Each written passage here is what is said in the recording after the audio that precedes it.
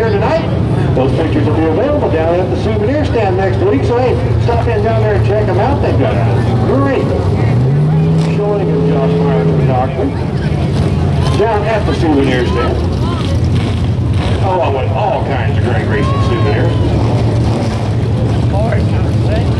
But J.R. Mason taking home the throne tonight in the modified division.